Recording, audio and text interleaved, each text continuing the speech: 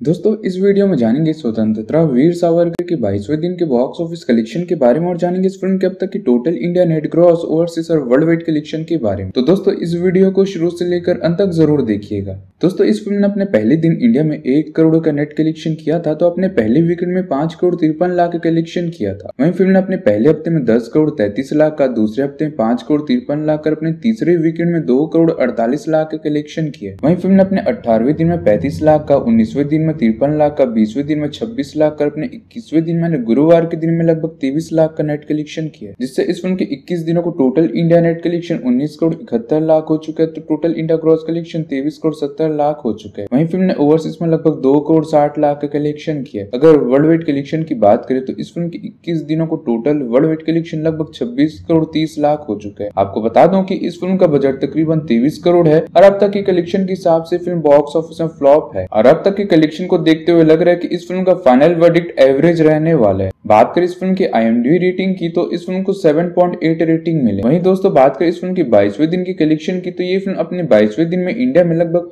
15 लाख का net collection करने जा रही है। तो दोस्तों, अगर आपने फ़िल्म देख लिया तो आपको फ़िल्म कैसी लगी आप इस फ़िल्म को पाँच में से कितनी रेटिंग देना चाहोगे कमेंट करके बताइएगा। और दोस्तों, अगर वीडियो पसंद आए तो लाइक करे कमेंट करे शेयर करे। अगर आप हमारे चैनल में नए हो तो ऐसी बॉक्स ऑफ़िस की कलेक्शन और फ़िल्मों की सभी जानकारी पाने के लिए हमारे चैनल को सब्सक्राइब ज़रूर करें। बेल आइकन भी दबा देता है कि हमारे वीडियो के नोटिफिकेशन आप तक पहुँच सके।